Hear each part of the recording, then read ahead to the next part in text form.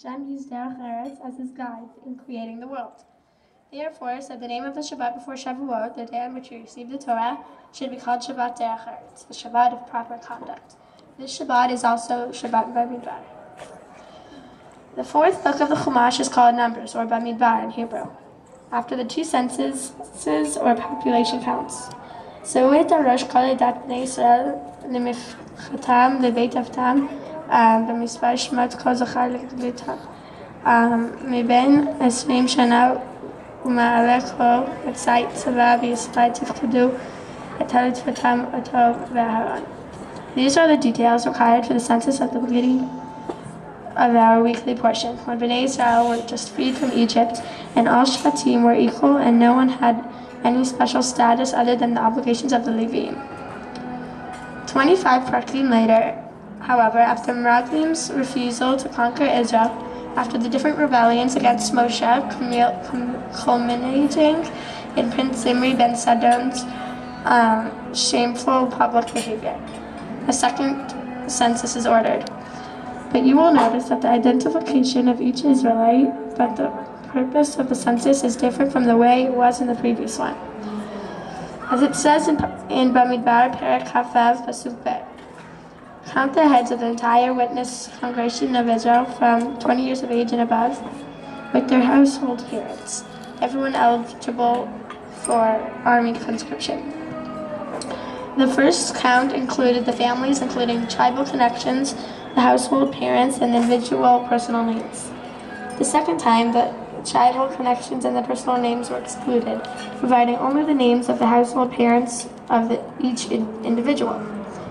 Yaakov blesses his grandchildren, the sons of Joseph, that they shall be called by his name and the name of his ancestors, Abraham and Yitzchak. This is not only mean naming them Bob, George, and Fred, but much more importantly, it means linking them to the ideals, values, and commitments passed down from the Avot and Imot and teaching and raising their children with the promise that their children would inherit the land of Israel, would eventually succeed in conveying to the world God's message and blessing of morality and peace.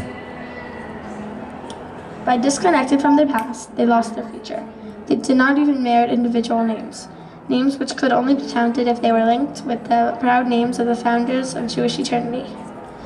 My parents chose me to to name me Avital because my mom was due to give birth on Yom Ha'atzmaut in 2000, which was the 52nd year um, anniversary of Medina Israel.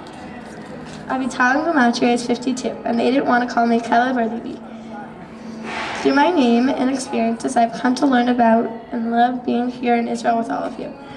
I want to thank my parents, mom and dad, for raising me in a Jewish environment with derech eretz and a love and appreciation for Israel, and also for paying for my day school education, my summers at Bnei Akiva camp in Achziv.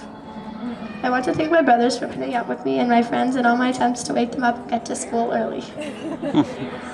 a year ago on Purim night, my grandfather Meir passed away, and I never got to meet my father's dad, Saba Harry.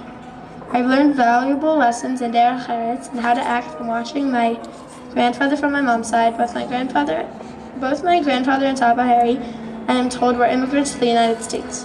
They were both known for being humble, caring, and had great love for Eretz Yisrael. I'm sure that my grandparents are proud of me and will be even prouder when I will be able to live in Israel in the not too distant future. I know some of you are betting my dad that it will never happen, but I'm putting my money with my dad. I want to thank all of you again for sharing and celebrating my bat mitzvah here in Yerushalayim. Shabbat shalom and chag sameach.